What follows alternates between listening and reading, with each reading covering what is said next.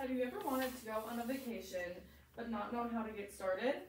Mark Leepson states in his article, Tourism Economic Impact, that American travel and tourism businesses earned about $200 billion in 1983, making travel and tourism the second largest industry. This means that if you are someone that answered yes to the question, you are not alone, and there are a large, large amount of people in the United States that have similar interests. I am credible to deliver this speech because I have spent time reviewing articles that closely relate to the topic of traveling and vacations. I have combined information from several sources and created relatable and relevant information to share with you all. In this speech, I will inform you of budgeting tips and travel destinations. I will also include tips on how to plan a vacation in order to be effective with your time and money. Now buckle up as I travel through and explain how to decide where to vacation.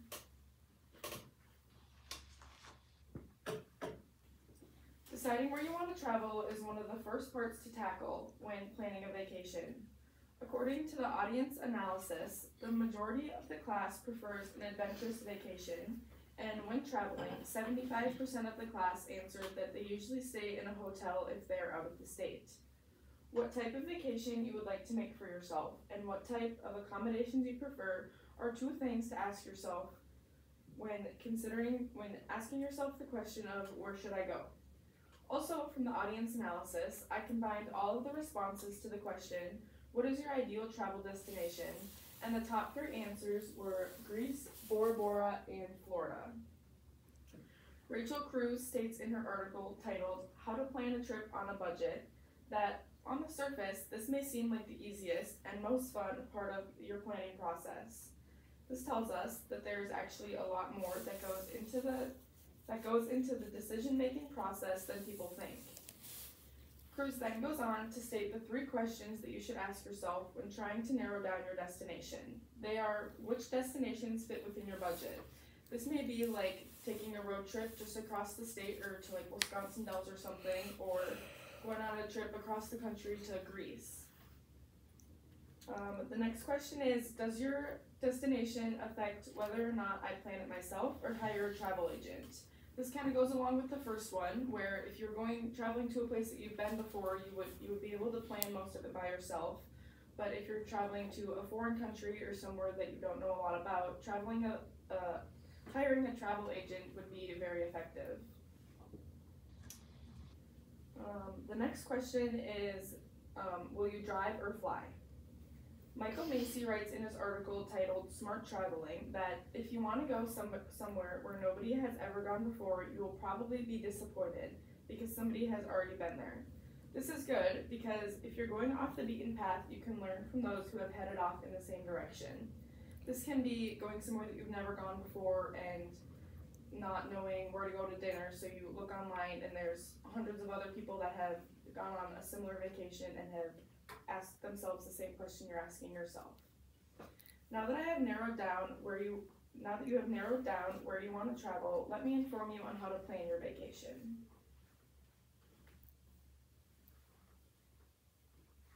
In Cruz's article, she provided seven steps to planning a trip. Her first step is to plan your trip budget. She recommends you determine how much you want to spend on everything from hotels, gas, souvenirs, um, excursions, and other things like that. She recommends you determine how much you want to spend, or she tells the reader to choose the top places you'd like to go. Once you have done that, you can use the price you set previously to narrow down the destinations.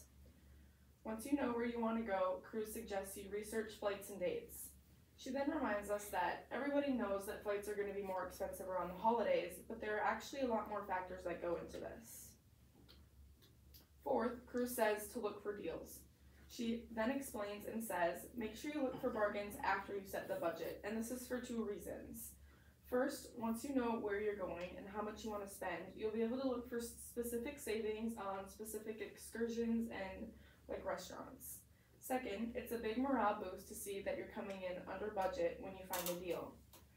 Cruz's fifth step in, plan- in trip planning is to start saving up and use your trip as motivation when you're pulling a double shift or taking on extra work. Cruz's second to last step is to create your itinerary and ask yourself what types of excursions you want to do. She tells us to do this with also keeping in mind what the weather will be and not planning tiring trips on back-to-back days. This can also be staying when you're if you're staying in like one city and you want to do two excursions in a place that's two hours away. Plan those on the same day so you're not wasting time driving. Cruz's final step is to go and enjoy your trip.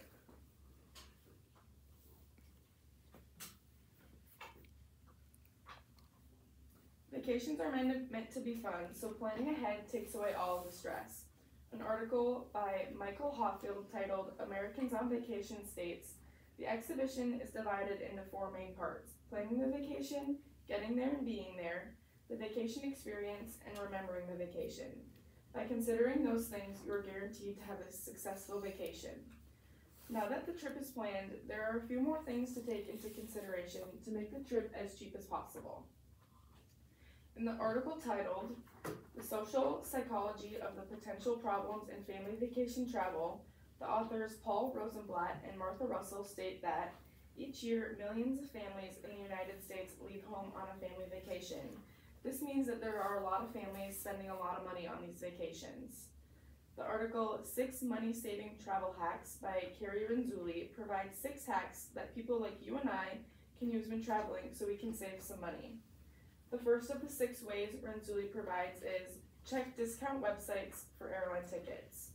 Next, she reminds us to accept a little discomfort in the air. She says to not concentrate on the flight as much because when you're once you're at your destination, it'll all be worth it. So this means to not spend $200 on that first class ticket that you're gonna have the little extra legroom for two hours because that's just a very small portion of the trip, and you could use that money on money on other things like other excursions that you'll remember for longer. She says, the third, the author states, always carry on. This is referring to luggage and saving money and always having your stuff with you. And this could also be not having to worry about losing your luggage and wasting time once you arrive your, at your destination to try to track it all down. Her fifth and sixth steps are to don't skip a must see solely because of cost, and sixth is to embrace the planning part of the fun. By using all of those tips provided by Renzulli, families can save a great deal of money and ultimately they will be able to travel more. Not only will they be able to travel more, but they'll be able to do other things while they're on the vacation to make it um, worth their money.